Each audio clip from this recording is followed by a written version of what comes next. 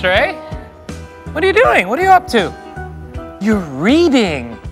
No way. That's something new. You never read. What's going on, Stray? What are you reading? Can I see?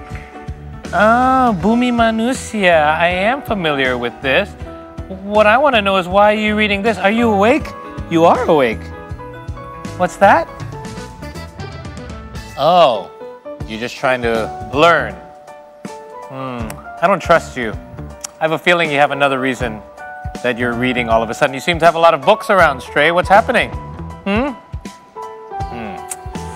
I have a feeling I'm going to find out why Stray is doing all this reading lately. It makes no sense. He doesn't like to read. He likes to eat. He likes to sleep. Ah, somebody's here. Ah, Pak Hilmar Farid, the Director General for Culture for Republic of Indonesia. Welcome. Thank you. Thank you for coming by. Now I And know who is what. this? Now this is Trey, by the way, Right. and I know now why he is reading Uh-huh. these particular books.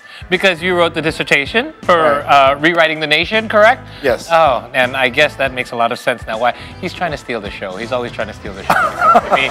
Probably heard that you were coming and wanted to get all this out to impress you. I don't know if you're impressed, but um, But are you- really impressed, yes. I'm a little impressed that the cat can read as well.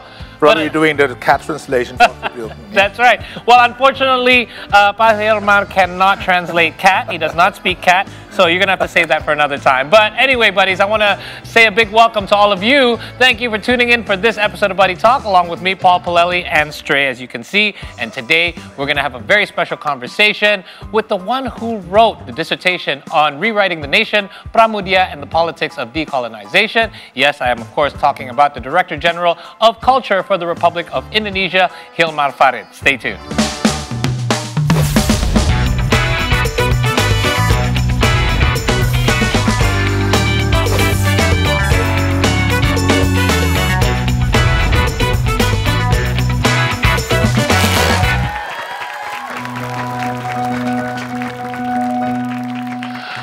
Right, here on Buddy Talk today, we have a very special guest, Pak Hilmar Farid. Pak Hilmar, thank you for being here today once again. Yeah. So, first of all, congratulations on you and the entire Indonesian government because uh, you have so far returned more than 400 uh, artifacts back into the country from the Netherlands. Um, so it's 472. 72. Wow, yeah. that is a lot. That is a huge number. So congratulations. So can you tell us briefly what was the process? Because we first heard about the news. It was almost a couple of years ago now. Yeah, yeah. Right? Oh, well, it was actually a very long process. Um, it started like three years ago. Okay. When there was like changes in the um, Dutch government about the policies uh, concerning these colonial collections. That that's what they call them. Okay. So um, and yeah, it took us two years to discuss. We went back and forth, and then yeah, uh, discussed the modalities of it, like how to return, where to return to, um, and how to do it, and which collection. That's the was the most important question actually. So which collection of um, many uh, like hundreds of thousands of, of items from Indonesia Many, wow. in the colonial collections, but um, not all of them were um, what they call looted art. Okay. Yeah, so we only focus on the um, that category. Okay, looted art meaning something that was just unrightfully taken, as Taken, opposed yeah. to something that was actually perhaps Given purchased or or given. bought, yeah, Right. yeah, okay. True. So yeah, um, and we made that selection. Um, it was a very meticulous process because there was like documentation. You have to write on everything, like do all the research, the background of these objects. But finally, then we arrived at the conclusion that this 472 um, will be the first batch. Okay. So there will be other collections uh, returning in the following years. But yeah, I think it took us so long because there uh, to, to reach the agreement between the two governments, like how to do it, the modalities of it. But now, since we already have an agreement, it's in place, so we can expect other uh, batches would like more smoothly then. Yeah. Okay. So this is continu- This is still ongoing. Yeah. It's an ongoing Yes. process, but it should be more streamlined now. Um, what are some of the artifacts that are included in this 470? What are some of the unique ones that you came across? Well, um, uh, the, first batch, then you will have um, a collection of golden rings, Okay. like that, like hundreds of them. Wow. and very beautiful ones uh, from the um, kingdom of Lombok, yeah, um, taken back in the 19th century. But you also have very important um, statues Okay. from uh, the Candi in Singosari Candi in, in uh, Malang. Um, there are four uh, big statues like that. They're very important, not only I think historically, but also in, in a cultural sense. Yes. People are still going to the temples, um, doing rituals, etc. So this would mean reintegrating um, all these artifacts back to where they belong. So that is, I think, the most significant uh, part of the uh, returning of the objects. Okay, so let's talk about that a little bit. A lot of these, some of these artifacts will be returned to its rightful owners or heirs of the owners. Um, but what about some of them that are more difficult to trace? So if they don't have a home, like what happens to them? Because a lot of them are priceless now by, by this time. Sure, like it's yeah. been it's been so long, it's been so many years. So would there be like a specific probably museums maybe that they can be directed to, or what would where are they where are they all going to find a home? All of the collections are going back to the National Museum here. Okay. Yeah, so um, they actually belong to the state. Okay, so they State belong to the state. Yeah. Okay. A state um, a property, but of course we uh, are willing to cooperate. Actually, uh, just before uh, coming here, I had this meeting with the museums in Lombok. They are eager to have the collection shown in Lombok. For sure, yeah, we will do that. And we will uh, provide um, wide access to these collections, and we are willing also to work together with museums, galleries, um, to uh, do some shows. No? Uh, Oh, nice. with the collection. So yeah, that's for sure. But um, the most difficult part is actually to identify and to reconstruct the story. I mean, they, they call it the provenance research. No? Okay. Um, to retrace when did it, uh, was it taken, and when was it brought to the Netherlands, etc. So that's a very meticulous process, like all the documentation, doing the research. But yeah, yeah, It's finally. like re, like retracing footsteps that are very old. So Exactly. it's very hard exactly. I do. mean, I mean, if you look at the story of the um, process itself, it's already a, a narrative in itself. Absolutely. Right? So you kind of like now that you're drawing me a picture, you remind me of like a modern day Indiana Jones because he's always looking for artifacts as well. It's very difficult journey to find all of these little things, and he's always trying to return these Right, artifacts home. right. Do you? you sh- I should get you a fedora. by the way. so anyway, uh, since you're here, it's not only Stray that's here. We we have a, another friend dropping by, and I believe she's Okay. here right now. Uh, don't mind her; she gets excited when I have guests. This is Shafira, by the way. Hi. Hi. We met several times. Right. Yes. Yes, I remember. In a theater. Oh, she's We always at the movies. Several films, Indonesian films created by uh, creators from here in Indonesia. Yes. She's speaking about that he was what? It's like a Indiana Jones. It's like Indiana Jones. Yeah, speaking of movies. Ah, probably it's related to that. Ooh. I have What is that? special- I have special uh, deliveries for you, Papa. Okay, what is it? Please open it. Let's have a look. Ta-da! Lima Sekawan. This is Enid Indonesian Blyton. version. I think it's Indonesian version, yes. Wow, you did light. I is the remember one. these books. I had I You had English remember? versions when I was a kid. Yeah, you did Yeah, okay. I, I had a whole bunch you of can these books. tell us about this. Please. Oh, Wow. Well, I have to check. Oh, yeah. Yeah, can. Okay, please tell us Yeah, about that. Yeah. All right, just put it here.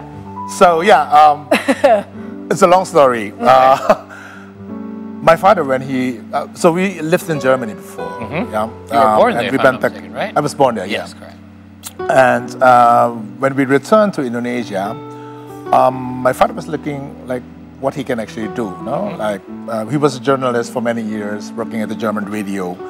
Um, and one thing that he noticed is the absence of um, children books at that time. I mean, you have many beautiful stories from Indonesia, but little, um, only small amount of books um, from international writers. Global no? books, right. Right. So that was his idea, no? how to bridge that gap. No? So bring international renowned writers from anywhere of the world. But then you translate it into Bahasa Indonesia, and he made it as, as a job. I mean, he's one of the few professional translators, I should say.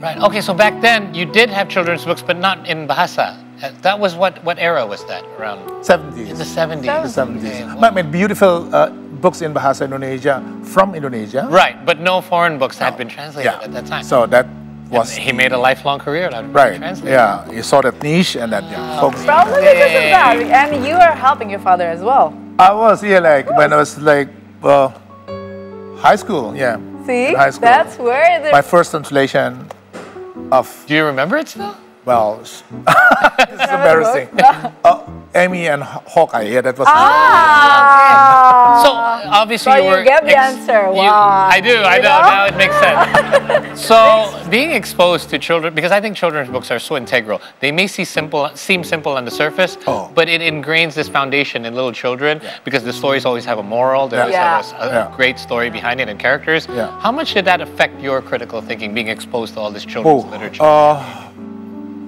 yeah. When I was a, a younger, I really loved um, Astrid Lindgren's Pippi Longstocking, Longstocking, in, yes, in, in English, no?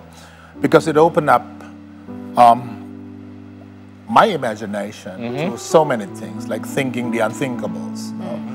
I'm seeing things from different because it's always about perception. That book, Yes. the story is always. But she has that dream, Mm-hmm. lived in that dreamy world of hers, and then her father, that captain, the sailor, Mm-hmm. brings stories from different parts of the world which are also unthinkable, unimaginable. No, so that really opens up, um, um, yeah, a path for um, my imagination to develop, and that was, I think, a very important part, yeah, in my formative years. And Yeah. speaking about um, your experience, you read a book a lot. You are currently, or the government is currently restoring the Muaro Jambi as well. Yes, Just heard yeah. about this, right? Exactly. Recently. Yeah. and the director was Nia Dinata. Mm-hmm. Uh, Muaro Jambi uh, Temple, which is the biggest Buddhist. I just know that it was the biggest Buddhist temple compound in Southeast Asia. Many of us didn't even know, I living in didn't Indonesia, even the people there, a until- lot of yes, them didn't until know. the Muaro Jambi documentary uh, are released. How is it going so far?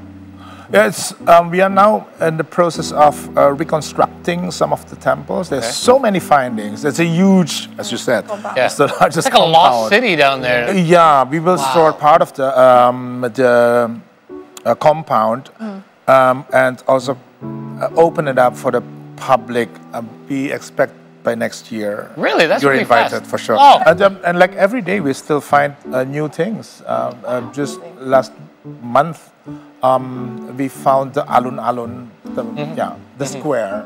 we were just like for to receive um, guests, I think, no, at that Yeah. time, no, and then we um, also find like little, um, what you call that, like little statues like that, Okay, no? yeah.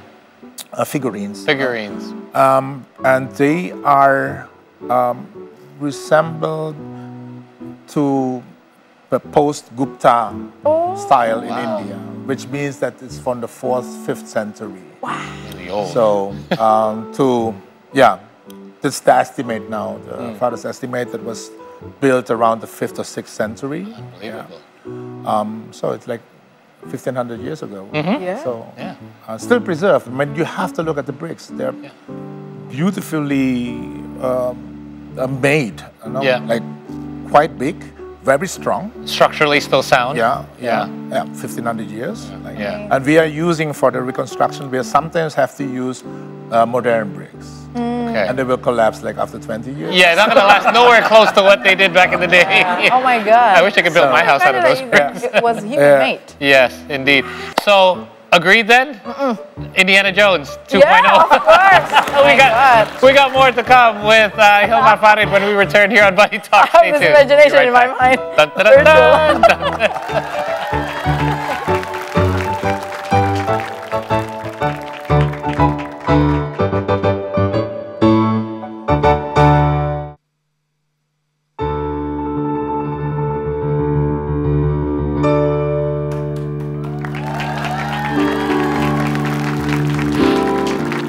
dun, dun. Hi, buddies. Welcome back. You're still with us here on Buddy Talk, and we're still chatting with the Director General for the Ministry of Culture for the Republic of Indonesia, Mr. Hilmar Farid.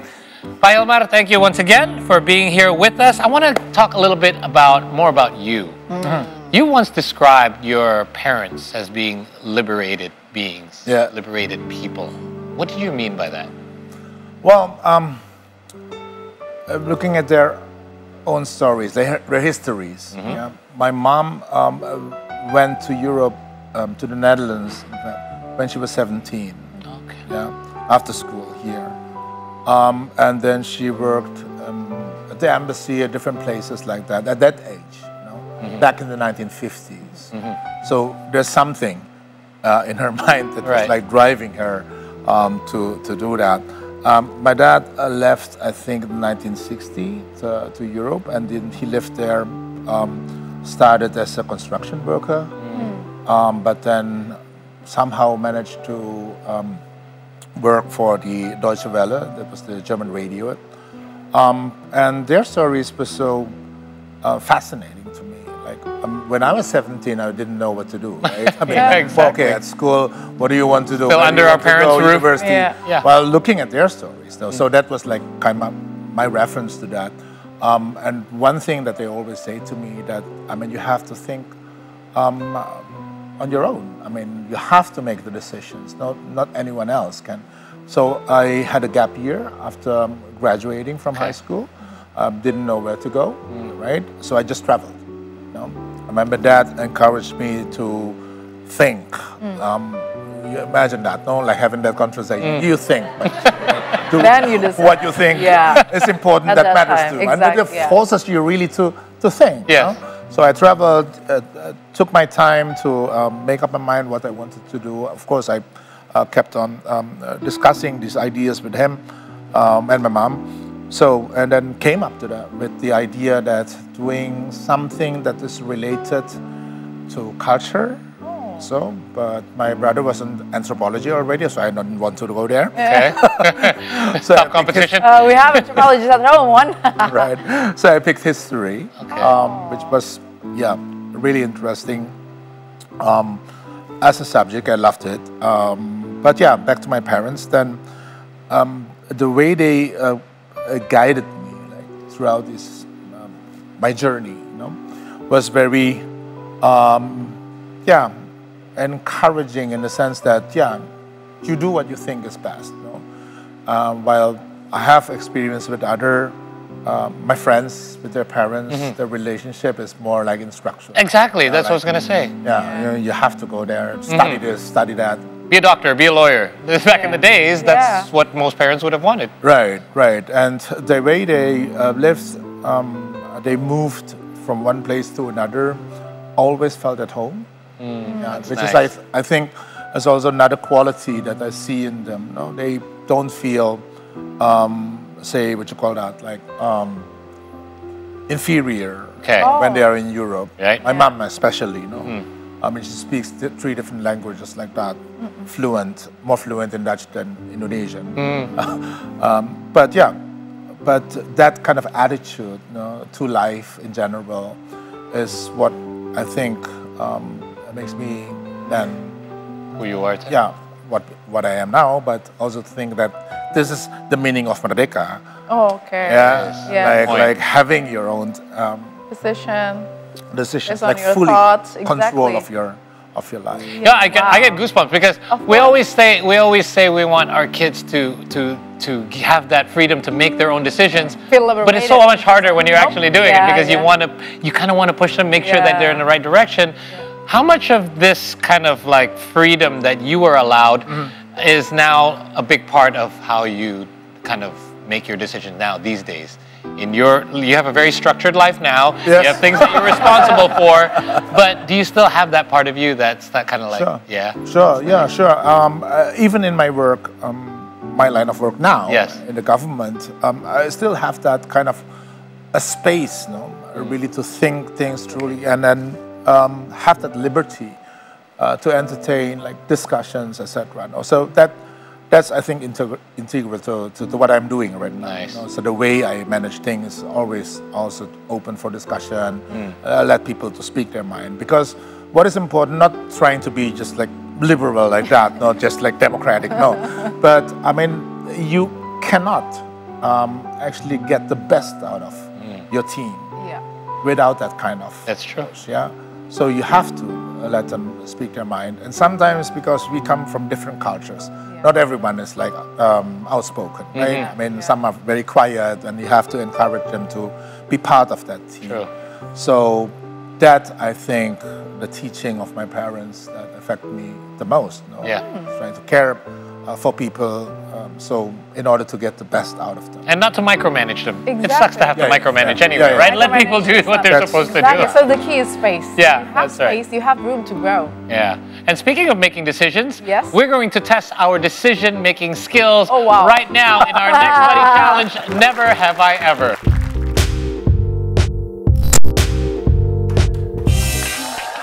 Okay. Have you ever played Never Have I Ever?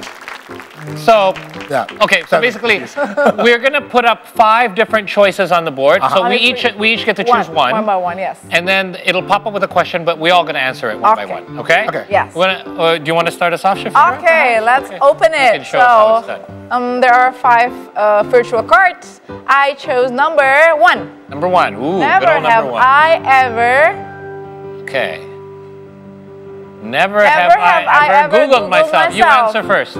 I have. Yeah. when? When was the I Do you do it a lot? No. No? Uh, ch- okay. Uh, okay. There is a time when someone uh, asked for my pictures. I Okay. have to send them. Oh, I don't have any proper You pictures. didn't have any pictures? So I Google and I, you know, I click the Really? images. Actually, I found it. Really? Probably someone st- took me when when That's I was amazing. broadcasting, and I just capture it and I send them. So I got my Very professional simple. pictures. All right. You Google. From Google. Uh, have you, Ayo Hilmar, ever Googled yourself? Yes. Yes, you have. Okay. Right? What did you discover? Probably quite often. Ah, yeah, yeah. because yeah. uh, from time to time I need to check Okay. whether something bad said about Oh, me. that's true. All right. Okay. Have hey, that's the most honest Oh, answer. have Me, I Googled myself. Uh, the first time was a few years ago, and I've done it probably a couple more times since. Very disappointed with my results. Really? I don't have a Wikipedia page. There's not any news about me. All that popped up at the time was Facebook. Now, if I do it, LinkedIn. Oh, yeah, That's about it. yeah, but that's yeah. At standard. least- And my Instagram. Yeah, so there we're you go, guys. Somebody please Everyone. talk about me online so I can Google All myself. right. I'll find more in Your turn, Pa. By Hilmar, go ahead. My turn. And one, uh, one has been taken, so two to five. Two to five. There you go. Okay, let's Number? pick four. Never ever, never, never have I ever lied to my parents about what I'm doing. Oh, okay. Now it's getting interesting. Have you? Have you ever? This is an interesting session. yes, for sure. Yes. Okay. Do you remember what it was about? Um, yeah. Um, um, uh, went on a motorbike tour. Uh, yeah. Although my father um, said, "Don't do that." doesn't Yeah. approve of me, Okay. um, and you have to stay at home. Just make sure that you're not going. Yeah. Okay. Okay, I'm not going. Yeah, but I took my motorbike out um, somewhere else. I said no, not to to that tour. The tour would be like a long trip, right? yeah, yeah, yeah, to okay. Bandung. All right. Oh, It's like a two day, two day thing. Uh, so I went. Okay. he was really upset. Okay. But yeah. Oh, he found I- out. I- he found out finally. Okay. Stupid me because I had that. At that time, you could still. Uh, there was a stretch from Jakarta to Bandung Right. uh, on a toll road. Okay. Yeah, motorbikes can Oh, you can actually go Yeah, back then. It Okay. was like 100 rupiah or something. Ah. And I, yeah, stupid me. I kept Oh, that. you the got ticket, the receipt, the toll Oh my. God! What is this? That blew up my cover. oh. This says Jakarta to Bandung. There's no, there's no way around it. Cool. All right. Your house. We're gonna rewind uh, another part of your life. Let's uh, have a look. I think I'm gonna show We it. have so many things. I'm gonna, I'm gonna show you a picture. I think. So this was you. Uh, you're gonna tell us when. This was. Oh. Very cool hair, I must say. How long did you have long hair for? Ye- Was it years? um, university, um, Okay. it was 1988. This is, I think, 2012. Oh, so it was a while. Yeah. So this was your signature look. Uh, yeah, yeah, yeah, Yeah. For, for many, many years, for Um, decades. and I can tell that you're into like uh, creative arts as well by, by your look. So were you were you forced to change your appearance when you decided I've got to get more serious look here because I'm going to be working for the government? no, no, it was way No. before that. Okay. yeah, yeah, yeah, cut my hair. When was that? Um, well, I think 2013. Okay. Do you miss it? Yeah. Yeah. Yeah. Yeah. Okay. But When- interesting when when Pak Muhadjir, he was the minister of uh, Yes. education Pak in Muhadjir Kalsel Effendy, before, and he um, knew about this. Hmm. And then he asked, "Why don't you grow your hair again?" like, I'm not allowed. Uh, who says that? Like, just, like, go ahead. It's true, Yeah. But yeah, I mean now I think things are already changing. No. What do you miss the most, Pa? Uh, before you joined with the government, what do you miss the most? Um, freedom. Less working hours. Less working hours, right? Travel, less working hours and all that. Yeah, like yeah. have that time for yourself. Like, now you're absorbed into so many different things. Yeah. By the way, I know you're a book buff, but do you have any movie recommendations?